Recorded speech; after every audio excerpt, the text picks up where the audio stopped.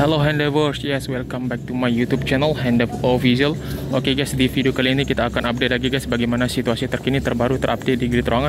Hari ini tepat dengan hari Senin tanggal 24 Juni tahun 2024. Oke, simak terus video Handev sampai selesai. Jangan kalian skip, saya akan mengajak kalian semua untuk kita menyusuri Gili Terongan sampai ke arah sentralnya ini. Di sini kita akan jalan-jalan santai saja dan kita ngomong-ngomong santai saja sambil kita menikmati suasana pagi menjelang siang yang sangat indah ini. Oke, untuk situasinya di pagi menjelang siang ini lumayan ramai guys. Nah, kalian bisa melihat sendiri ini di depan saya ini banyak wisatawan bule berdatangan ke Gili Trawangan untuk hari ini. Berlalu lalang untuk wisatawan bule maupun lokal ke Gili Trawangan.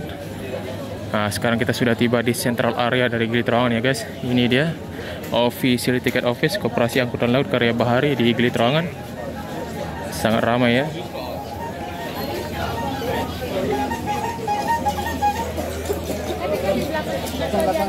For your information guys untuk di Gili Trawangan ini sudah lengkap ya dengan segala macam turis informationnya.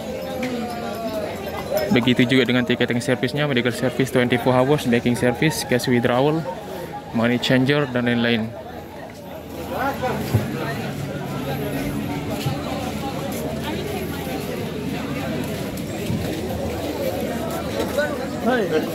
Wow, ramai sekali di central area ini. Ini merupakan pusat aktivitas di Gili Trawangan dekat dengan night market. Untuk night marketnya buka di jam 7 malam sampai tengah malam ya guys. Bahkan mereka buka sampai jam 2 malam ya untuk night marketnya. Di sini juga ada untuk flight tiketnya, ada untuk bookshop, laundry, evacuation route.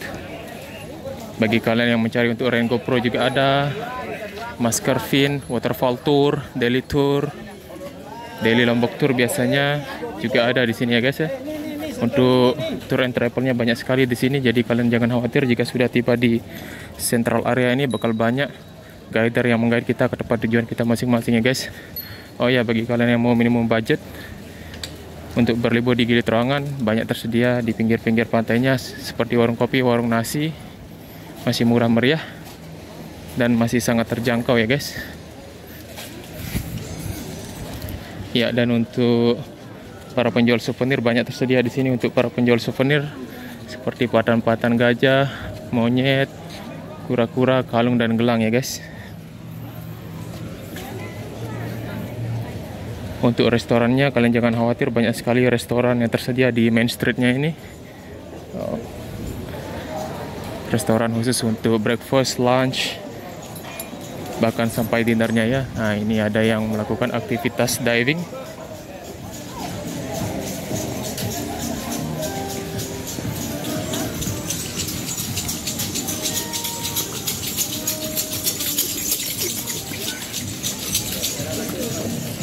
Bagi kalian yang mau belajar diving, banyak tersedia di sini untuk tempat belajar diving namanya Pesona Dive Center Gili, Dream Divers, Berlu Marlin Dive, Diversia, Gili Divers dengan para instrukturnya yang sangat profesional mengajari kita how to dive. Nah, ini, ini dia untuk suasana pantai timur di Gili Trawangan yang sangat cantik dan indah. Dari sini saya bisa melihat keindahan Pulau Gili Meno, Lombok Utara dan Lombok Barat dengan hamparan bukit-bukit yang, yang sudah menghijau semuanya di sana. Banyak tersedia di sini untuk glass bottom boat ya, boat-boat khusus untuk snorkeling trip. Nah, di depan saya ini di sana ada yang sedang melakukan aktivitas diving. Mereka menggunakan boat bulu marlin ya guys. Nah, sepertinya itu sekitar 10 orang. Boleh semua itu mau pergi untuk pergi diving. Keren. Bagi kalian yang mau untuk rental bike banyak tersedia di sini untuk sewa sepeda berkisar dari harga Rp50.000 sampai Rp75.000 untuk perharinya masih ter sangat terjangkau, masih murah meriah ya guys ya. Nah ini dia Pesona Dive Central Gili sekaligus beach resort and spa.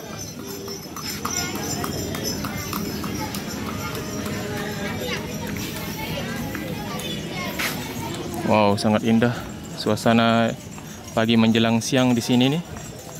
Keren.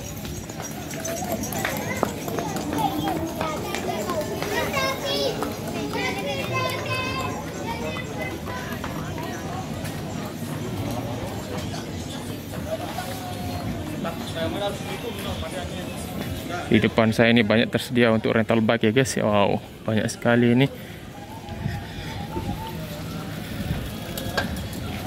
Ada namanya Sila Office menyediakan rental bike dan snorkeling trip untuk bungalows and homestay banyak sekali tersedia di sini guys terutama di bagian village-nya pokoknya Gili Tron ini sangat-sangat saya rekomendasikan ya untuk kalian semua bisa kunjungi terutama untuk liburan keluarga Gili Tron ini sangat cocok guys. Nah ini dia. Gili Sand Beach Club dengan konsep live acoustic music di malam harinya. Di sini sangat ramai biasanya. Start pukul 7 malam sampai 10 malam. Dan biasanya di sini di jam 9 malam sudah sangat ramai ya. Bule-bule yang ingin menonton live acoustic music di bin bed dan tablenya ini. Keren restorannya juga bagus di atasnya ada villa mantap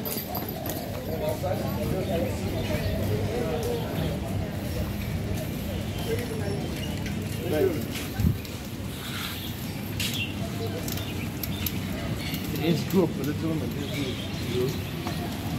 No,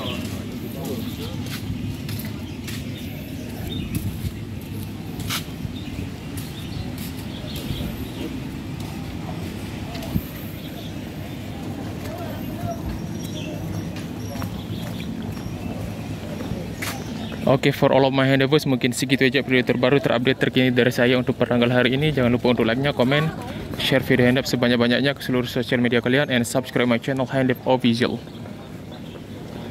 Thank you very much for watching. Thank you. Have good day. Have good one. Bye bye. See you for the next video.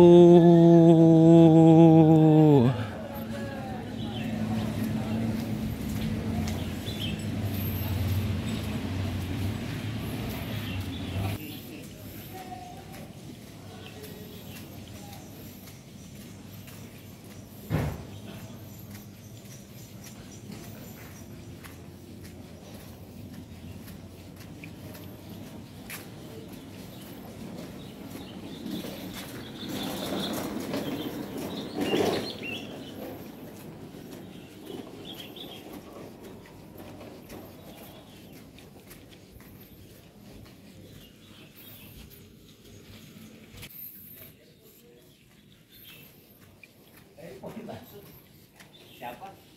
ये सारे